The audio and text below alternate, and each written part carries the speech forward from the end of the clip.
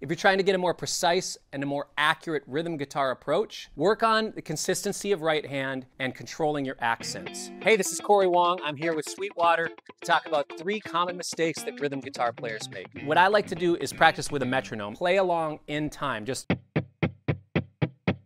and then do 16th notes.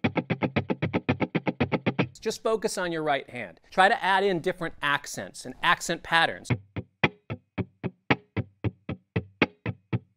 And what you want to do is focus on keeping the same time but a different velocity and a different attack on each of those. You're kind of placing accents in different places. What it does is it gives you more control so you can do things like